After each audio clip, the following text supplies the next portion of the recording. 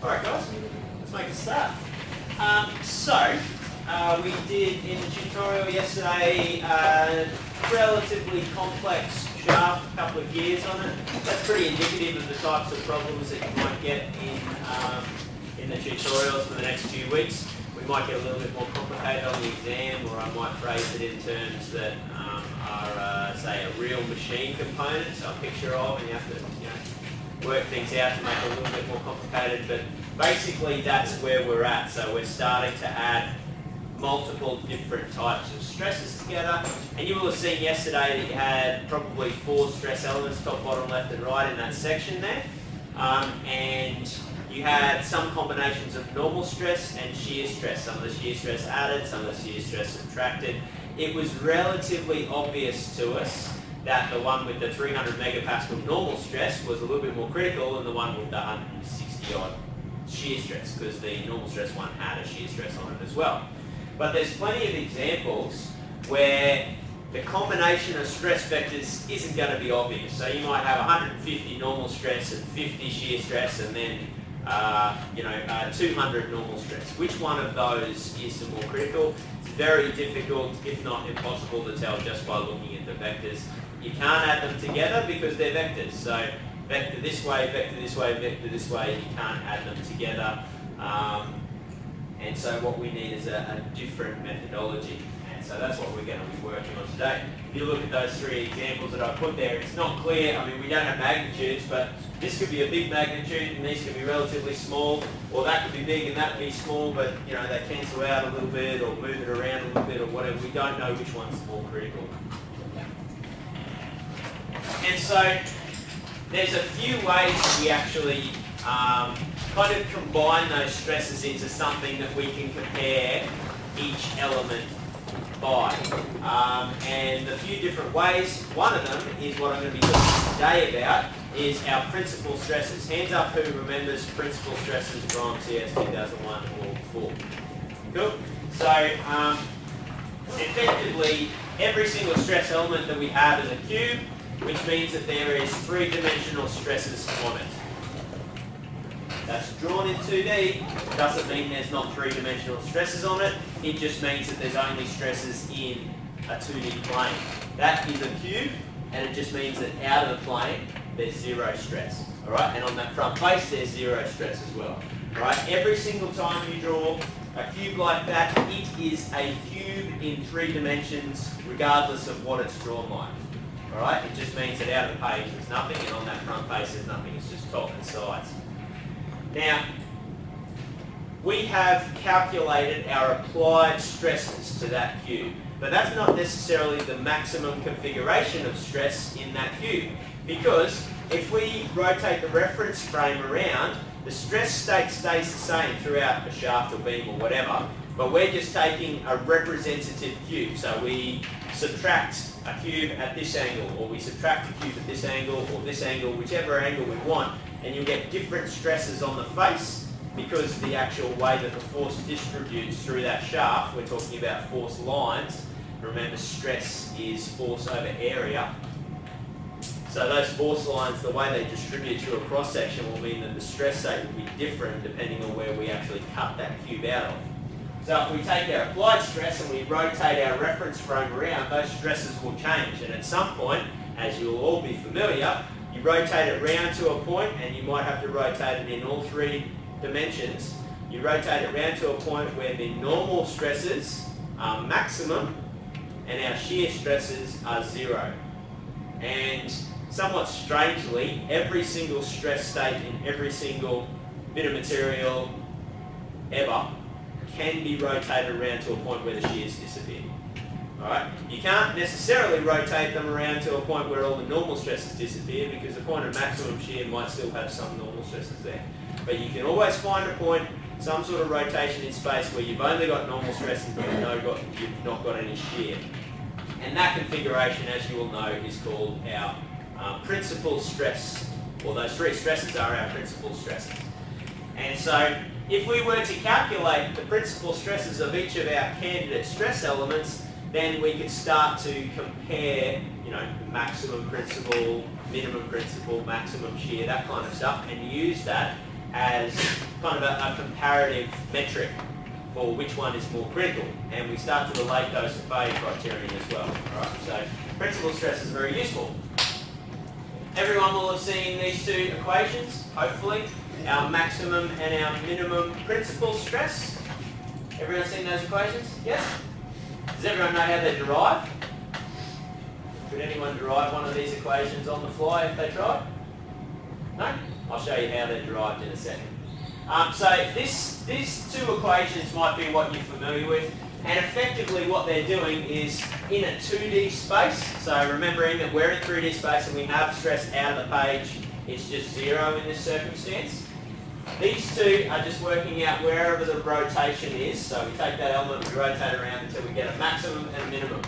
And those maximum and minimum, maximum generally positive, but they could both be positive or negative, or one positive and one negative. Okay? Now what we're actually saying is that our three principal stresses, and when we indicate from now on when you're talking about principal stresses, you will call them sigma 1, sigma 2, and sigma 3. Alright, and in every single circumstance where I ask for principal stresses, I require 3. In this circumstance, the third one is 0. Very easy. Okay? And the first two are our sigma max and our sigma min that we've calculated up here. Alright, so those are just the equations for two principal stresses if you have a 2D stress state. Is everyone comfortable with that? Cool. Alright, and then if we have what is now three principal stresses, remembering three, remembering that the third one is zero, we can get our maximum shear, and you might have this equation as well, which is the maximum of sigma 1 minus 2 divided by 2, 2, 3, or 1, 3. So basically the biggest difference between those, uh, and anyone that remembers Mohr circles will know that that's basically the, the top of the Mohr circle, which I'm going to talk about right in the next slide. Um, now that maximum shear stress, basically you take your maximum principal plane and you have to rotate it around until that shear stress becomes maximum. So you can imagine this, this cube rotating a full 360 degrees, a complete continuous rotation, right? And as you rotate, some of the vectors get longer and then shorter and then longer depending on where the configuration is. So all this is doing is to get the maximum normals, you rotate it around and if you were to visualize when it got to its maximum point and started going back down again, you'd say that's the maximum. And when it goes down and the shears gets bigger and smaller as you rotate, and when you get to the maximum plane, the shear's maximum, that's the maximum shear, alright? So these equations are just giving us those places. We're not talking about angles just yet, um, but those equations are giving us the maximum configuration throughout a full 360 degree rotation of that cube. Alright, so those are the black box equations. Those are equations that we could just blindly apply and maybe we'd get them right. Um, what I'm going to talk about now is how to do Mohr's circles and where these equations have come from and how to actually interpret what this stuff means. Alright, um, now hopefully everyone's had at least a crack at Mohr circles in CS 2001. I am largely going to teach you my way of doing it.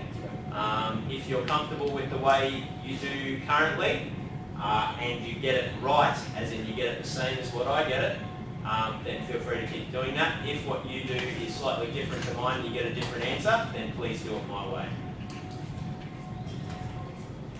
Alright, so, Mohr circles. Um, You'll see probably one of the first differences is that I have shear stress up. Have you guys done shear stress down in your Mohr circles in the past? Alright, about half the textbooks on mechanics do it down and about half the textbooks on mechanics do it up. Alright, so both ways are technically correct, but if you do it up and you use the positive sign convention, then rotations on the Mohr circle match, as in they go in the same direction as the rotations on a critical element. It all lines up and it's nicely consistent.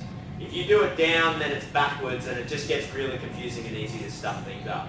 Now, I've taught in this class down and up before. Um, for the last couple of years, I've taught up because going through every single step of it, it makes much more sense to go up because of all of those things lining up and being consistent. All right, and so that's why I do it this way. I suggest you all start doing it this way as well. Um, now, there are always three points on a Mohr's circle because there are always three principal stresses. Have you guys drawn your Mohr's circles this way with three circles? No? Cool, you do now. Alright, every single Mohr circle you draw should have three circles on it. Or, if there's only one circle, it better be three circles all overlapping each other. Okay? Um, so, if I have a circumstance like this, so we've got a 2D stress state, we've got some tensile stresses, and we've got some compressive stresses, and that's our normal stresses. Alright, sorry, our uh, principal stresses. So our third principal stress is zero. The three points on the Mohr circle are sigma 1 is a positive, obviously, sigma 3 is compressive, and so negative. and sigma 2, this top face, is 0. And you will draw that 0, and you will draw the circles that join all three. Alright? And then the maximum shear stress that occurs at that infinitesimal location in the shaft for which you have drawn the applied stress element and then the principal stress element, only at that point, the maximum shear occurring at that point is the top of the biggest circle. Alright, so for this top example, what you would have done in the past, which is that point and that point and one circle, you'd get it right. This example, where both of our principals are tensile, or out, we have positive sigma 1 we have positive sigma 2, and if you only drew one circle, you'd be getting a maximum shear here, which is wrong, because the third principal stress is 0, making a much bigger circle and making our maximum shear that point there. Okay, so that's the, the rationale for the three circles, because 0 is always a principal stress if you've got a 2D stress state. Okay? Alright, now, another point is that um, for convention and because it makes our life a hell of a lot easier, sigma 1 is always bigger than sigma 2 is always bigger than sigma, sigma 3. Okay? So for this example, sigma 1 is the big one, sigma 2 is the zero stress state, and sigma 3 is the negative. For this one, sigma 1 is the big one, sigma 2 is the medium-sized one, and sigma 3 is the zero because we sequence them from right to left. Right? It just makes our life easy. Um, and it means you can always say sigma 1 minus sigma 3 divided by 2 will give you the maximum shear as well. Um, there's other advantages, but we always sigma, we always order the sigma 1 through to sigma 3. Alright, now, how do we actually calculate that Mohr's circle? You guys should probably be relatively familiar with doing this. Um, I'm going to give you an actual, um, let's say, systematic process for doing this in the hopes that you get it right every single time. Um, and in the hopes that it will help you get your rotations for your principal planes as well. Alright? And the way that we do that, take our applied stress element, you notice I'm saying applied stress element, that's the element you would calculate using the method that you used in the tutorial yesterday. They were applied stress elements. And then we label the top face and the right face. Alright? Now, each of those faces is a dot that we're going to plot on the Mohr circle. And if we rotated that a little bit, the stresses would change on that face and the dot would move on the Mohr circle. And so as I actually rotate this whole thing around, that dot will move around the Mohr's circle. And the way it actually works is that it will move double around here for a single rotation. So if this rotates 180 degrees, we will go 360 degrees on this curve. Okay? And that makes sense to us because if I look at that top face, well, let's look at the right face for starters. We've got our positive sign convention. On that right face is my sigma x, my normal stress, positive or negative? Positive. Positive? Yeah, it's that. Positive. Yeah. So that's a positive value. And that, thinking of this as a Cartesian coordinate, my normal stress, that value has to be positive so I come along here to whatever sigma x is value in my Cartesian coordinates. Is this shear stress positive or negative on my positive sign convention? Negative. It's up. It's up or down negative. Up or down positive for that matter. Is this tau xy positive or negative? Negative. Negative. Yeah, it's going up. Positive is down, yeah? And so on my Cartesian coordinate system, I have a magnitude, which is tau xy. I have a sign, which is negative because of my positive sign convention, which means that I have my x component, I have my y component. My y component is whatever tau xy is in the negative direction. And I have a point. Alright, let's look at the back face here. Normal stress, positive or negative based on my positive sign convention? Positive. Positive, it's out. Shear stress, positive or negative based on my positive sign convention? Negative. So I have positive sigma x by negative tau xy, which is exactly the same point on the curve. Alright? So you can either do top and right or left and bottom. You'll get the same two points on that Mohr circle curve. And what that also tells us is that if I rot rotate this face around 180 degrees, I basically come all the way back around again. Oh, sorry, in, all the way back around again. So 180 degrees on your element is 360 degrees on the Mohr circle because I get back to the same point in Cartesian space. Alright. Top face is my normal stress positive or negative based on my sign convention and I'm just going to rotate my sign convention up like that. Doesn't matter whether you rotate it clockwise or anti-clockwise because shears and normals are the same. Positive or negative normal stress? Negative. Negative. So I come along here to whatever sigma y is. Is my shear stress on the top there positive or negative? Positive. Positive. Because if I'm looking at it that way, it's going down. So I come up to tau xy positive and I get my second point on the curve. You can do the same thing to the bottom and you'll find you'll get exactly the same Cartesian point. Yeah? So um, that's probably the process that you've been pretty comfortable with, but you might not have been 100% confident in whether you go up or down. You just know that one goes up, one goes down, and you just draw a line between them. There is a very specific reason why one goes up and one goes down, and it's because of this sign convention, and you have to get that right, because otherwise it will screw up your rotations. Alright, so we have one point, one point, we draw a line between them, that gives us the centre of the circle, this is the radius of the circle, and we draw it around. And so if we're all comfortable with our geometry and our trigonometry and our mathematics, C, the centre point, is just the average between the two applied stresses. So this value plus this value divided by 2 gives us the centre, it's the average. Yeah, so you should be able to work that out in your head even if you can't recall that equation. So to get to the centre, it's just the average of two points. You can work it out however you want. Double check your answer if you're confused. What's the radius of a circle?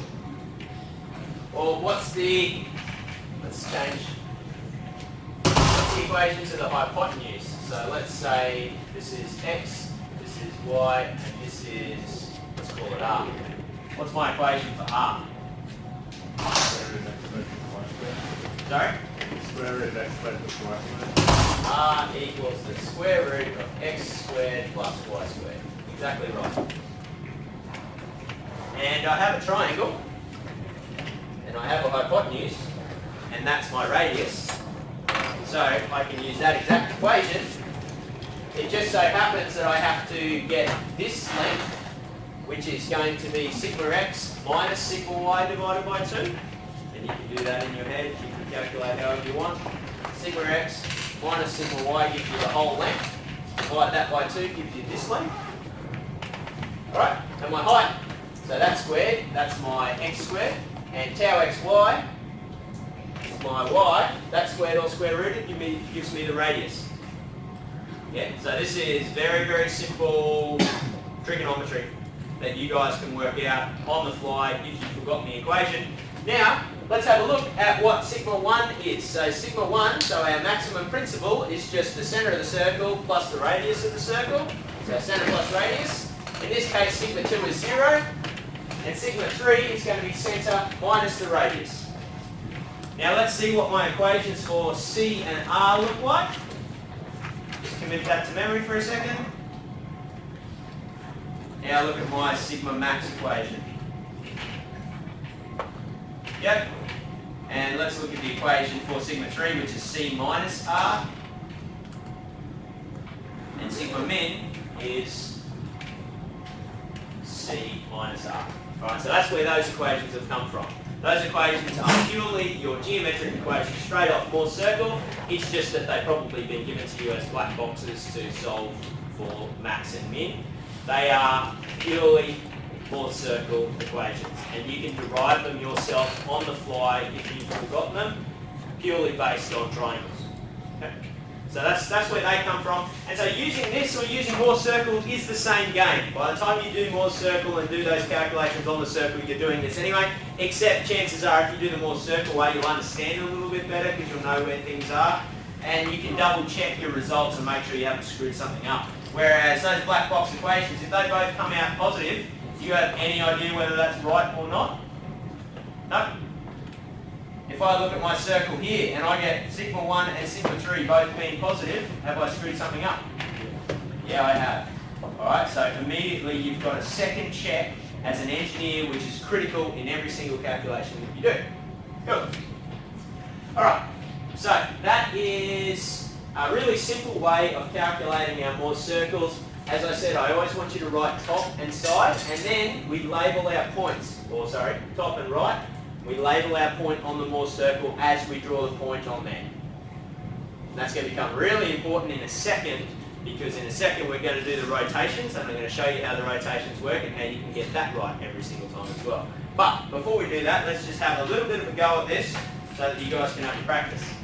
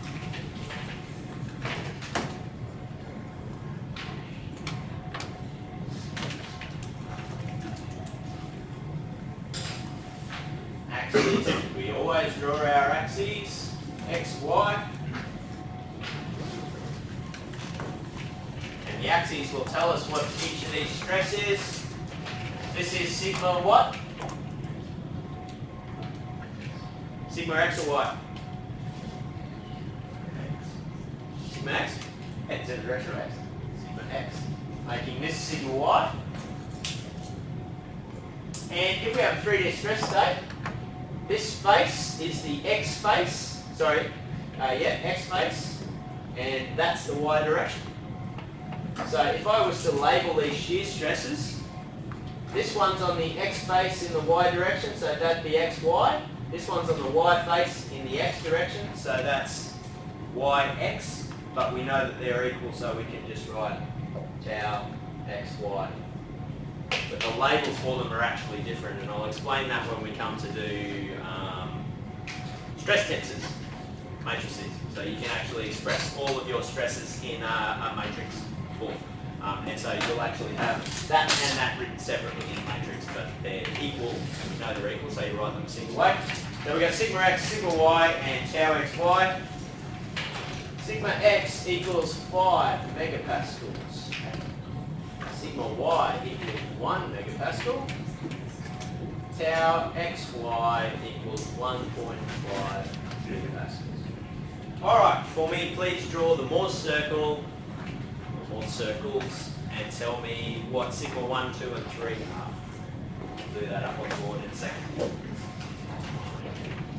Alright, so it looks like everyone's had a bit of a crack. Obviously, I did it this way to make you think a little bit more. I've got these sequence, sigma 1, sigma 2, sigma 3. You will obviously see that that is not the case for this example, uh, which is a really good reason why we actually do this uh, whilst thinking about it rather than just applying equations. Everything that I want you to do from now on And this is hard, and I understand that on uh, whatever we are, Tuesday morning, and particularly Monday morning tubes coming in, you'd much rather just apply equations. From here on in, you guys have to think. It's hard, but that's what engineers do. And so we look at a problem, and we have to be able to think about the multiple different ways that we can solve the same thing and make sure that we've got the answer right. And so obviously this applies for when I've got my circle to the right and left. It'll be flipped around and my sigma 3 will be the 0 if it's all the way to the right, which is this particular problem. So let's do the solutions.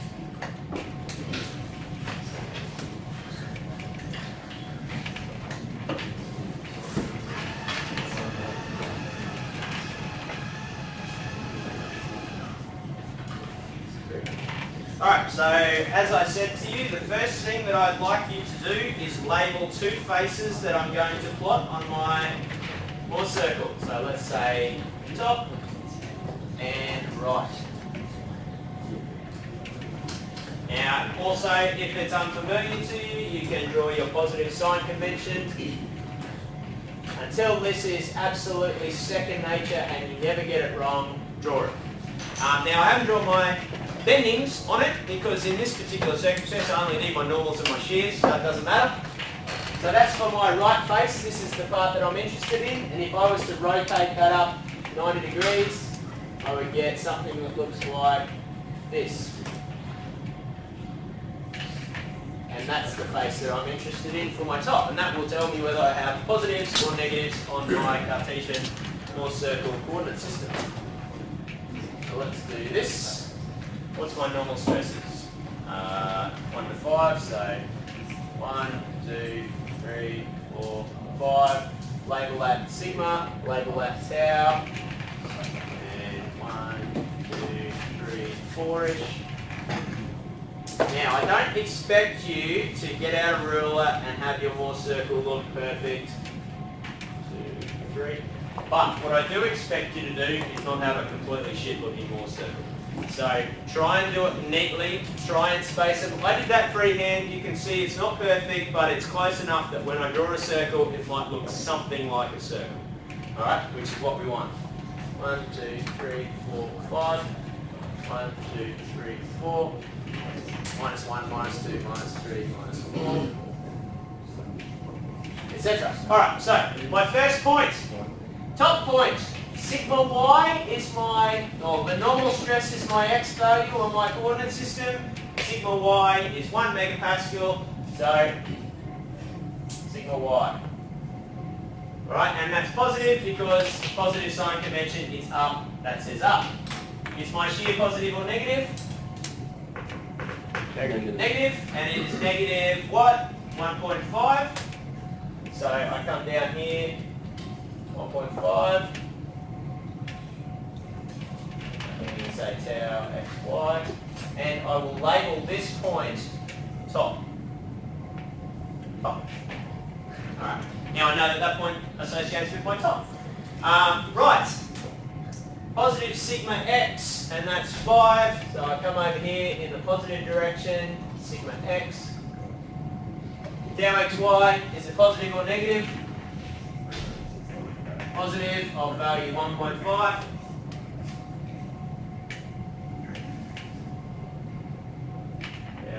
y. I'm just putting these on so it makes it very, very, very clear. And then I'm going to label that right. Alright, and I draw my line between them. Yeah. And if you've drawn it neatly and relatively evenly, it should be fairly clear that this falls just to the right of that, but you can actually, you could even leave it and we could calculate some values um, just to confirm that. So C equals X plus, so this value plus this value divided by 2, which is going to be 5 plus 1 divided by 2 equals 3. 3 megapascals. Oh, I should also put megapascals on my axes because we always, always, always put our units. Alright, does that make sense? Have I screwed something up, have I got it correct? Does it look right on the plot? Yeah? Did I accidentally go through three? I did. Look at that. Brilliant. Alright, so we're pretty close to what I thought it should be. Alright. r equals the square root of this maximum minus this one, or vice versa, because it's squared, doesn't really matter. 5 minus 1 over 2 squared plus tau xy is 1.5 squared, and I get r as, what you guys get r for? 2.5 2.5 megapascals, don't forget the units. Alright, so visually we know that if the radius is 2.5, I'm going to go 3 plus 2.5, which gets me to here, and 3 minus 2.5, which gets me to here, and I've got two more points on my circle if I need them. And I can draw a terrible looking circle like so. And really, if I wanted to, I could have gone 2.5 up, which is about there, and 2.5 down, which is about there. So this is, this is a shit circle, obviously. There we go. Um, and so, now if we look at that, where do our sigma 1s, 2s and 3s lay out? So if we sigma 1 is the maximum, I'm going to call that sigma 1. Sigma 2 is the next one, I'm going to call that sigma 2. And obviously we always choose 0, so that's going to be sigma 3. And I can add a couple of extra little circles on that. Like so. And we can use these values either on the curve or we can use them in an equation. Doesn't really matter. We know now that sigma 1 equals 3 plus 2.5 equals 5.5 megapascals. And I like putting a little underline under that. Sigma 2 equals 3 minus 2.5 equals 0.5 megapascals. Just a little underline under it. And sigma 3 we know is 0.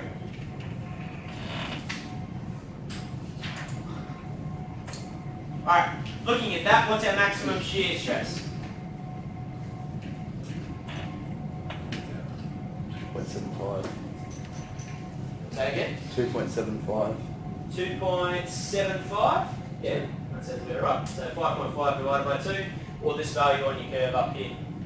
But either way, you can see that when you do the Mohr circles, and the reason that I ask you to do Mohr circles pretty much from now on, is that it's not just using an equation, it's not just calculating a value, it's, it's something that's physical that you can both use equations and calculate a value for, but you can also double check your answers. So if I calculate my maximum shear stress as 2.75, I look at that circle, and if I haven't stuffed it up, it makes sense to me that that's the value. And I can double check it. I could accidentally, if I was using equations, calculate that as 2.5.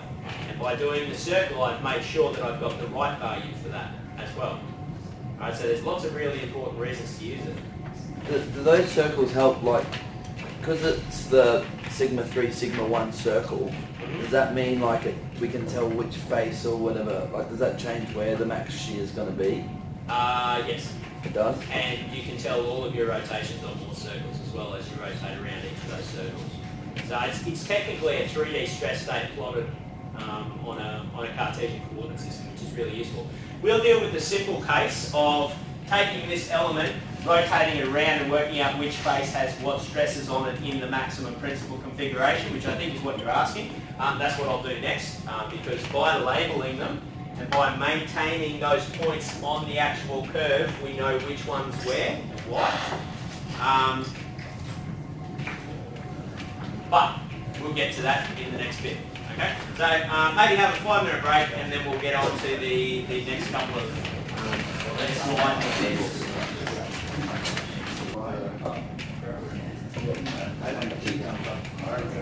Okay guys, um, so um, hopefully you guys are a little bit more confident or confident in so much as you might not have done any Mohr circles thus far um, in, in actually calculating those points. We're going to do another example in a minute um, and then you will be doing these for pretty much every other um, problem that you do at least in the first half of this subject.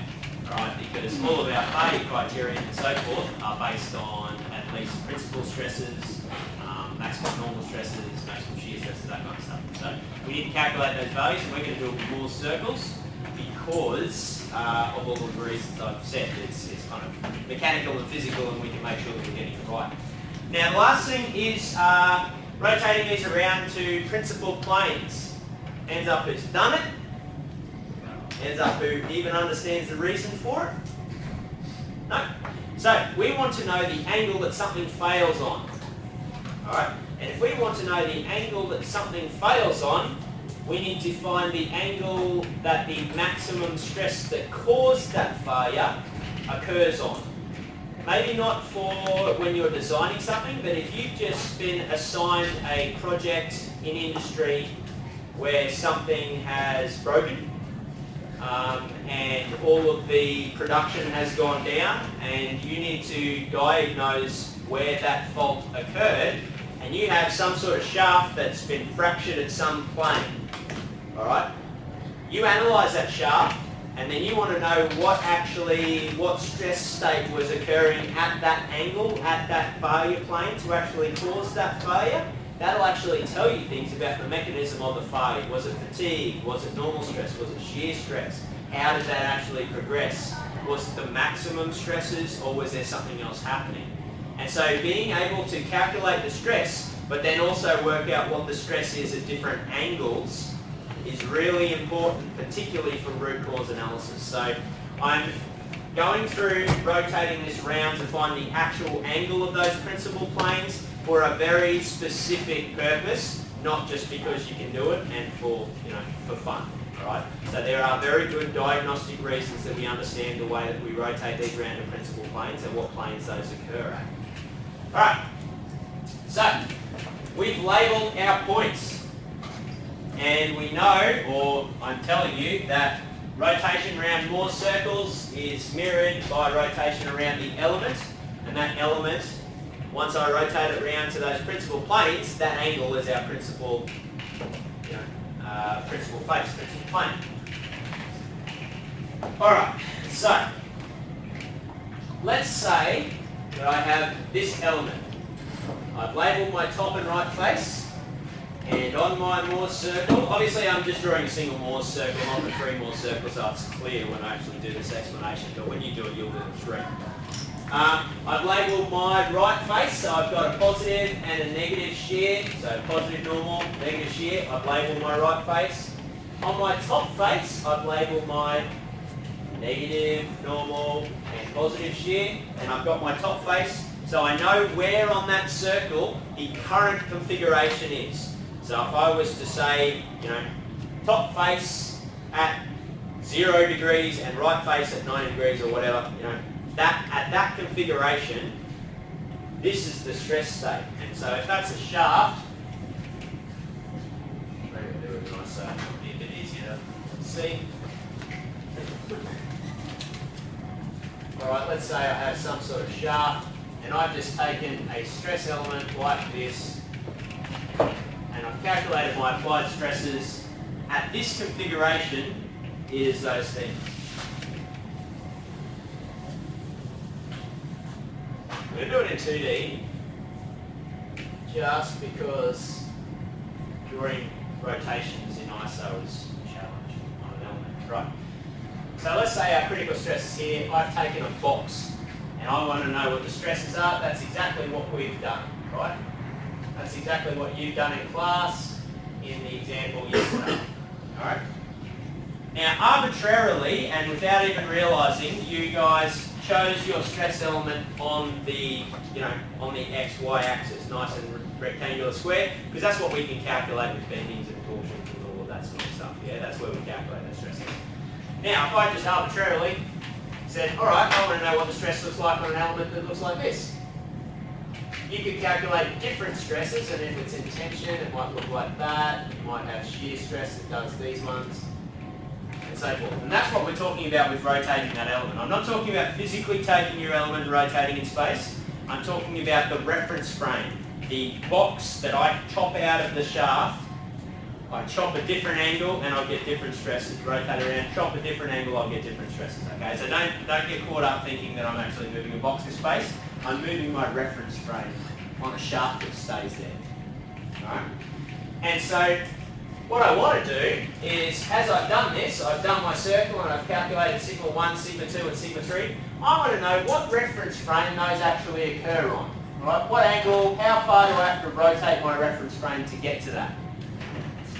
And because I've labelled top, I can work out which direction I need to move top in. Alright? Where's the closest, or what's the least rotation that I need to make to get to a principal stress? Clockwise or anti-clockwise? Anti, I come down here. I could just as easily go clockwise if I wanted. It just means I have to move it more. Alright? So, let's go anti-clockwise. I come down this far, and as I rotate around this, obviously this is a straight line, so wherever I rotate, both points have to move with me. Alright? So this point rotates down, this one goes up, and it rotates down by, I've just labelled it, whatever that is, alpha. Yeah? And so that angle on the circle, which I can get from my trigonometry,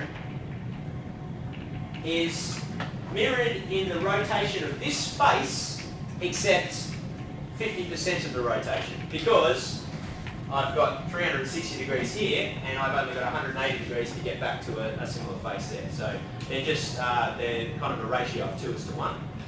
So if I calculate alpha, I know that this face has to rotate in the same direction by half that amount.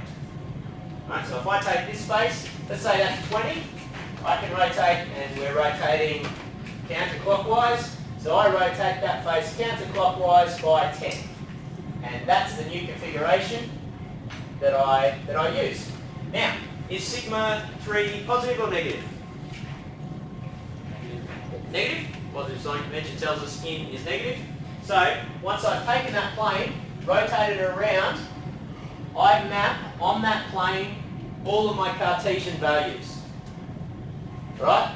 So I have negative sigma 3, and do I have any shear? No, shear is 0. So my two vectors that I put on that face are the Cartesian values on my circle. And that just happens to be negative sigma 3 into it, and no shear. Now let's do the same thing with the right face. I've got my right face here. Once again, I'm rotating counterclockwise by half of alpha, so if alpha is 20, that's 10. So I rotate counterclockwise by 10, and then I plot on my face whatever values that is. So that is positive sigma 1 is my normal stress, and 0 is my shear stress. So I look over here, I've plotted positive sigma 1. Now, if I was to reconstruct those two faces into the two faces of a cube, I'd get my top and my right like this. Are you confident that you could do the bottom and the left if you knew half a cube? We know full well that if you've got half a cube, the other half a cube mirrors it exactly, right? So, once I've worked out the angle of my top and the angle of my right, I rotate it around and I've got that stress, that stress, I know what stresses occur on it because I've got the directions, because I've got the points on my curve. The, the curve tells me exactly what those values should be. And I now know that this element occurs at alpha on 2 up from the horizontal in that configuration. Okay? Now, if I took my right uh, top face here, remembering that that's our point, and I only rotated down half alpha, down here, can I still draw that cube? Absolutely. So, however much I rotate on here, I just divide by 2. So if that's 20, I've come down 10. So now I need to divide by 2, I go down 5. What's the value of normal stress at this point? I don't know, something a bit less than sigma 3, but a negative yet. So sigma 3 is some value less than that, we know it. What's my value of shear stress, positive or negative? Positive and non-zero. So if I take my top plane, top, and I've rotated it down, and let's say that that's 5 degrees, and I've got some sort of a negative sigma going on, and some sort of a positive shear stress going on, and those values, I've got a stress element. And I can do the same thing on the right face. What I'm getting at here is this circle is an infinite number of stress combinations that covers the entire rotation of that element at every single point at every single combination of stress. It just so happens that the ones we're most interested in are the ones we're applied at because that helps us to draw the circle. The normal, uh, sorry, the principal stresses because I'm going to relate them to failure criterion. And also the maximum shear stress because I'm going to relate that to different failure criteria. Okay. So, that being said, let's now do the same process for the maximum shear stress element. So I've got my maximum normal stress element. I know what angle that occurs at. I'm going to do it for my maximum shear stress element. Because if I do this rotation on my shaft that failed, and my failure plane doesn't line up with any of this angle, I can come over here and say, all right, well I've got this and I had to rotate it around this way, and so my maximum normal plane is this way, but your shaft is actually, you know, broke this way. You're like, all right, maybe maximum normal stress wasn't the reason this broke. I wonder what maximum shear stress, what angle that occurs at. And so let's rotate it back around and see what angle the maximum shear stress occurs at, and see whether that lines up to our, you know, failure line. All right, so we do exactly the same thing. Uh, it's just that we rotate now round to where we know the maximum shear stress is rather than the maximum normal stress. So maximum shear stress occurs at the top and technically the bottom, just in the negative. Yeah. So our top, the closest place to move it is around the top here. Actually, well, before I do that, remember I said you can go either way with this point to get to a maximum normal stress? If I go from this point and rotate all the way around to here, that's basically 180 minus alpha divided by 2. Effectively what I'm doing is taking that top plane and instead of just rotating it down to here, I'm rotating it all the way around and I'm going to get to here. And so I get this stress on it and I label it as top, but then right has to rotate all the way back around to here by the same amount to get to the bottom. And I have exactly the same stress element, it's just that I've rotated one way as opposed to the other. It will always give me that same solution. Okay, so in this circumstance, we're going to take that top and rotate it here because it's the closest, but once again, I can go all the way down the bottom here and I get the same configuration, same resulting stress vectors. It's just, you know, I have to move more. So, top rotates up here. We can calculate that angle as whatever, I think I've called it thigh. And we take our top and we rotate the same direction, and this is why we have this axis up, because the same direction makes life easy. I rotate by half thigh in that direction, half thigh in that direction, and I have some combination of stress. Do I have shear stress here? Yes. Is it positive or negative? Positive. I look at my positive sign convention, and that means it's going down here. Do I have normal stress here? Yep. Whatever value of C is. And so I have to add a, add a normal stress, and that's a positive, so normal stress out of the page. Excellent. I've got all my stress vectors on that. I take my right, and I rotate it once again clockwise down to my maximum shear in the negative. So right rotates clockwise to whatever thigh on 2 is, and at that point, normal stress positive, shear stress negative, look at my sign convention and draw them on. And again, I have two faces of my four faces that I can just duplicate under it. Okay. So once you label that top and the right face, and you understand that the way that these points actually rotate is a continuum, it's continuous all the way around that circle, any angle of faces that you want to calculate the stresses on, you can read straight off this Mohr circle, then it becomes pretty straightforward to get those types of rotations. And let's say that maybe that rotation has rotated us around to a plane similar to this, and you might actually identify that shear stress was the failure mechanism, which could tell you something about the material that was chosen, and maybe that was inappropriate given that there's lots of shear stress there or something like that. Alright? Now, if shear stress was something like this, and you've got a failure plane in the middle, that's telling you that you've got some combination of normal and shear causing failure. And once again, that tells you things about the materials. And I'll talk a little bit about that when we talk about failure criterion. But it's very useful to be able to identify what planes the maximum normal, maximum shear occurs at for a particular area in a material. Okay? And so that's why we do these types of things. So if we got a max shear like that, does that mean it would fail like diagonally through that element? Through that plane. Yeah. Yeah, yeah, exactly. So if, if your max shear element looks like this, and maximum shear was the critical thing, maybe if that's you know 30 degrees and that's 60 degrees and this is your shaft, you're more likely to see one going up this plane at 60 degrees than you would at 30 degrees. But either of those, if you have a failure on either of those planes, you can say, at least as a starting point for your diagnosis, Yes, all right, I've got maximum shear going along here. I know ductile materials fail due to maximum shear, blah, blah, blah. That, that potentially will happen. Now, if you have a ductile material that fails on shear planes and your failure is along the, the actual, the maximum normal stress plane, that raises a question. And maybe that question is, what's happened to the material in the service life that is formed it because, as I'll talk about in a minute, um, or the next lecture, maybe next week, um, brittle materials fail on maximum normal stress plane, whereas ductile materials fail on the maximum shear stress plane. Okay, so if you've just identified that this thing is a, it started out as a ductile material, but it failed on a maximum normal stress plane, maybe something's happened to that material that's made it go brittle where it was ductile, and that might be cyclic heat conditions, or it could have been uh, dud material batch initially, or, or some of those things, and it starts to give you that mechanism to say, why has it broke? Can I avoid it breaking in the future? Okay? So it's a really useful tool to be able to identify those planes, and that's why I'm banging on about it for a little while. A lot of the time, um, or in the past, there's, there's been the, you know, you brush over Mohr circles and, oh yeah, you can rotate it around, but I don't really care about that because we don't use it for anything.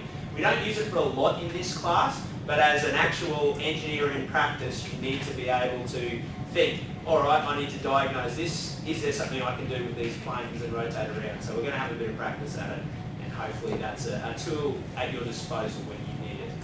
Okay? All right. Um, that's all the slides I've got, so let's do another example including the rotations. Um, and then we'll, um, depending on where we're at, we might call it a day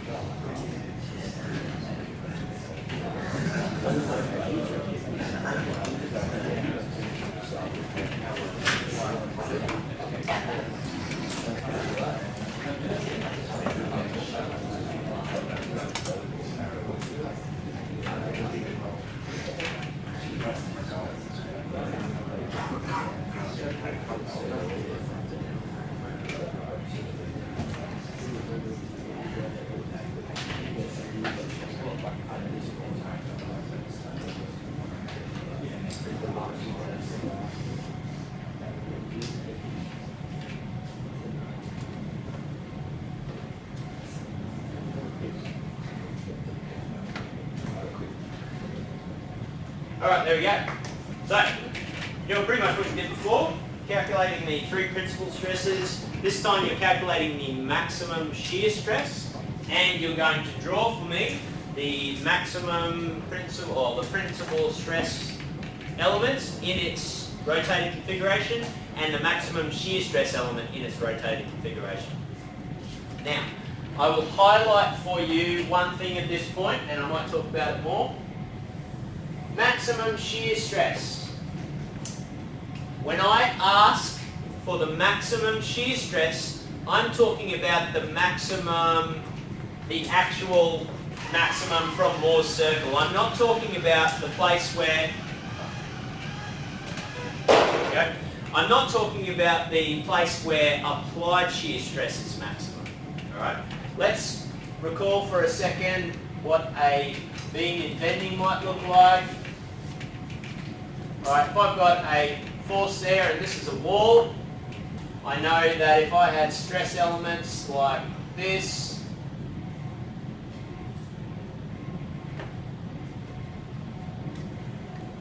alright, I've got tension here, I've got compression there, and I've got uh, down transverse shear like that.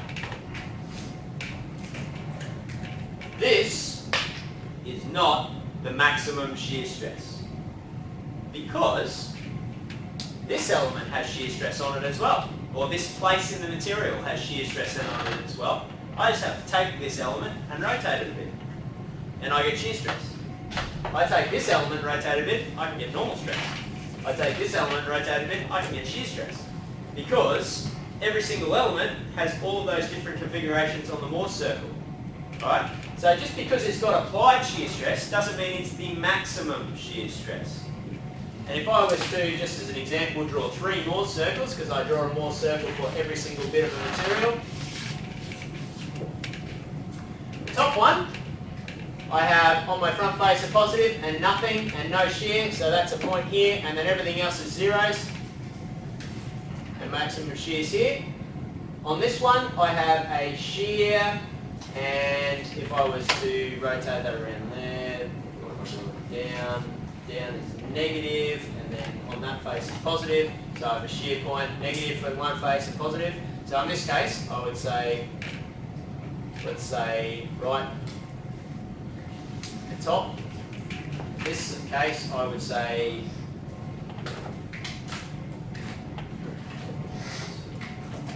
X, Y, uh, then top is the positive,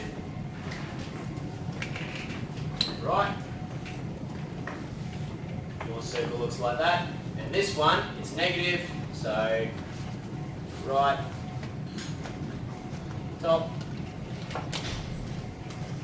Okay? So you see at, that's actually the center there. You see at all three configurations, I have shear stress and I have a potential for maximum shear stress. Now if this circle is bigger than this circle, then that maximum shear stress is more. And as we know about bending and transverse shear, bending is almost always more significant than transverse shear. And so chances are that's probably going to be the place where I have my maximum shear stress. Alright, so just in terms of terminology, if I ask you for maximum shear stress, very frequently I have people give me a transverse shear applied stress element. That is not correct. You need to find me the maximum shear stress based on Mohr's circles, normal stresses, etc. Okay? Alright, have a go at that.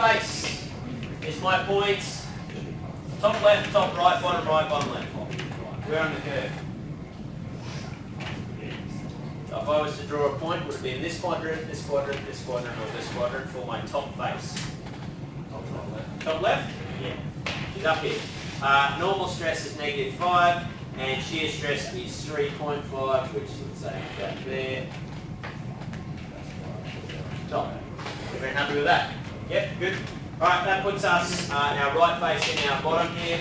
So we've got 15 across, and we've got a negative 3.5. Right. Put a line through that, so we're guessing that, well, between 5 and 15, you're probably going to hit somewhere. Might have drawn that a bit high there. Probably going to go through that 5. We to calculate that properly, we have C equals 15 minus 5 times 2 equals 5 megapascals. Everyone got C is 5? Yeah, Alright, now if I calculate, I can draw my circle now or I can calculate my radius just to make it a bit easier to look at, make it look circular. Um, radius equals the square root of 15 plus 5 is 20 on 2. It's 10 squared plus 3.5 squared. What do you all get? 10.59 megapascals. Excellent. Alright, so from about here, it goes up to about here, goes down to about here, comes out 5 plus 10 point something, so she's pretty close there. She's pretty close there, and I've got some points on the circle. These are all my badly shapen. Mohr circle. Alright, do I need other circles on there? Yes, obviously. One,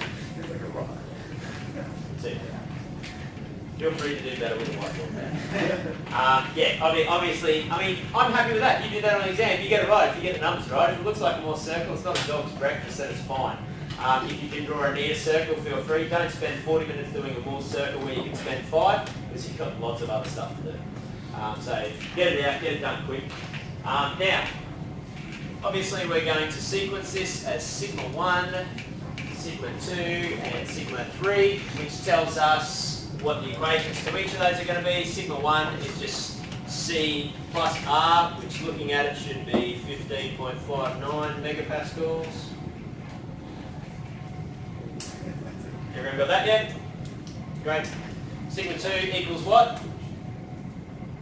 Zero, zero. Megapascals. And sigma 3 equals what? Negative one. Negative how much? 5.59 what? There we go. Alright, um, and what else do we need to calculate? We need to calculate the maximum shear. So I can say, let's say T max, tau max. And what was that?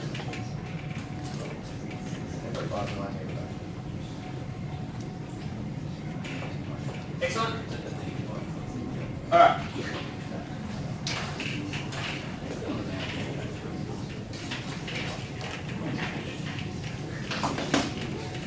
Alright, everyone on board so far? We've had two goes at this now. You have another go on the tutorial on Monday. Feel free to practice between now and then. Last thing we need to do is orientations.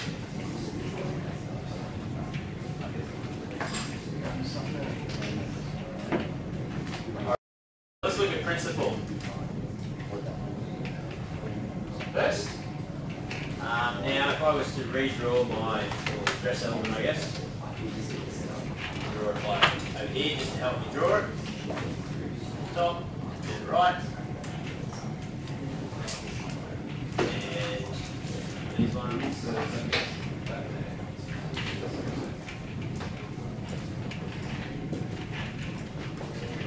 Right. Now, let's say I'm doing my top. I'm rotating down to here, and I'm going to call this angle alpha. What did everyone get for alpha? I'm just using truth. Alpha. Nineteen something or other was it? What was it? Nineteen point three. Nineteen point two nine. Degrees. Degrees, thank you. Um, and Alright, we'll do that other angle in a sec. So the angle that we're actually going to rotate this by is half that, so roughly 10 degrees. Yep. Um, and so if that's our top, we are rotating counterclockwise by 10 degrees. So if I take my top, I rotate counterclockwise by what is 10 degrees, let's say. You put real numbers on it, doesn't really matter. Doesn't matter, just doesn't matter, it's still writing on. Um, all right, is our normal stress positive or negative? Negative. Negative. So into the face of a value uh, 5.59. Remember, if you draw it into the face, you draw it right a positive stress. So that wouldn't be negative 5.59 because that would mean it was pointed the other way. Alright, so just make sure you get that right. Alright, so let's call that top. Alright, right face, once again we are going counterclockwise by 9 point whatever it is degrees. So if I take my right face and I rotate my counterclockwise by whatever, 10 degrees. And then I have my sigma 1 which is a positive stress which means it's out of the face. And that's out by a 15.59 megapascal magnitude. And obviously I can take, um, I'll draw it up here and then rub it out in a second. Draw my entire stress element like this. And generally you just give it an angle from the horizontal. Uh, what is that actual angle? We've got to write it the right way. 9.65. 9.65 degrees. And that's got a normal stress here, and a normal stress here, and a lesser compressive normal stress, and a lesser compressive normal stress of 5.59 megapascals and 15.59 megapascals. Did everyone get that? Yeah? Some guess? Excellent. Alright, so most everyone's starting to get a pretty good feeling for how to do this. Let's do the maximum shear ones. So if you've all got that, you're happy for me to rub this little bit off here? Yep, good. Just so we can keep them more circular and talk about it. So that was principal, and this is going to be max shear. Right, so our max shear is occurring up here. That's our angle there, and so let's call this phi. Phi equals what?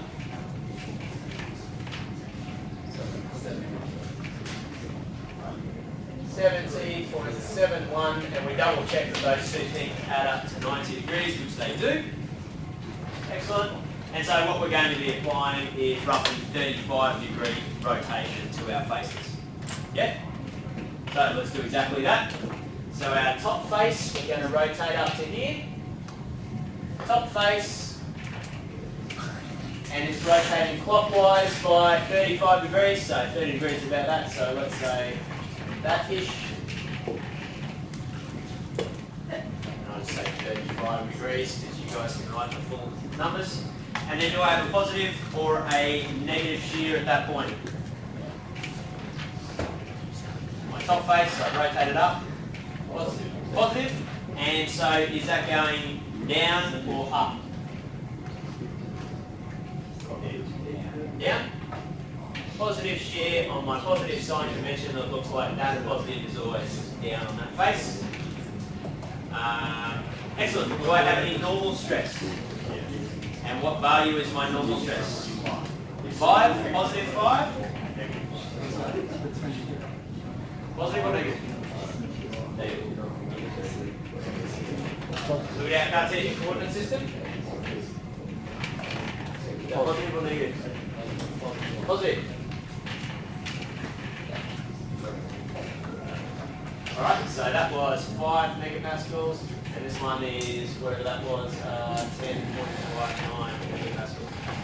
Yep, Because basically all we're doing is reading this point off the curve. So this point is 5 across and 10.9 up. And that's what we plot on that face. For the top. Yeah? Are they around? Right.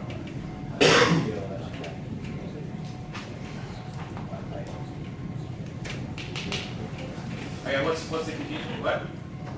So, top face, we plotted at this point. Everyone's happy with that? Yes? Okay, now we need to rotate this to our nearest shear stress. The nearest maximum shear stress is here. And so we're rotating clockwise around the circle to get to that by half of this degree, which is 35. So our top face rotates that direction 35, and then what we have to plot on that face is the Cartesian coordinates of that point, given that we've rotated up to that. The Cartesian coordinates at that point are maximum, so positive 10.59 and 5. Any confusion still? Are you guys under control on that one? Yeah. Make sense now? Great. Alright. Now, uh, oh, I'm going to label that top. Top, and then let's label right. Once again, that's this point, and we're going to rotate this guy down to here. So same angle, same direction, which is clockwise. So that going clockwise by what is 35 degrees. And then we need to map this Cartesian coordinate here. So is that positive or negative shear? Negative. And if I was to rotate this down, would negative be up that way or down this way? Up that way? Yep. Negative up like that. And then once again, the magnitude is 10.59. And do I have a positive or a negative normal stress? Positive. And that's 5 megapascals. Alright, so I've got my two faces. I can redraw my cube. Um, and so that's going to be this guy like that. And if that's 35 from the vertical, that should mean that this is 35 from the horizontal. Excuse me, Dave. Yep. The, the stress, uh, the principal stress, is it positive or negative? It's positive. Because it has to be exactly the same on both faces because it's a circle and they're above and below the same value in the normal stress direction. So the normal stress is whatever's on your horizontal axis and the shear stress is whatever is on your vertical axis. So at this point, our shear stress is negative because it's down and our normal stress is positive because it's to the right of the axis. Yeah? Alright, so what's our actual angle? It's 35.355. Yeah. 355 degrees. Uh, and then on the top face over shear and normal. On the right face over shear and normal. And let's just double check that for a second. You know, that we calculated those two shear stresses independently of one another? What should happen once we combine them? They should both point towards a common edge, which they do. So that's just an extra check just to make absolutely sure you haven't screwed something up.